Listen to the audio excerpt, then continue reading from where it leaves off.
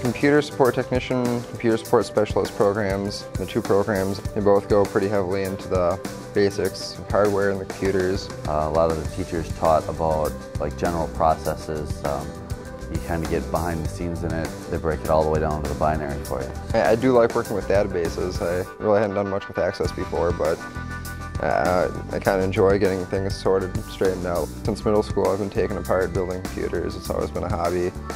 Um, between that and cars, I chose which would make more money. Gamers have an advantage in the program because they kind of want to know how the game works so they can get better at it. You're getting your hands on. That's one thing I really liked about it, is that it had the actual like applying your knowledge to what you're doing.